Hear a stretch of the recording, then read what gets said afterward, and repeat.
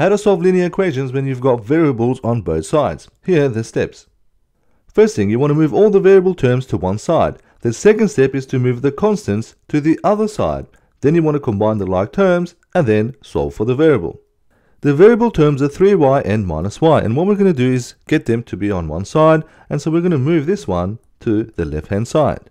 The constants are 6 and 2 and what we're going to do is we're going to move this to the other side and so we're going to move 6 to this side.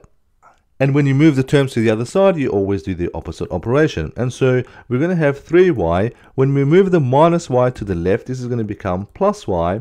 And then on the right, we've got the 2. And when we move the plus 6 to the right-hand side, this is going to become minus 6.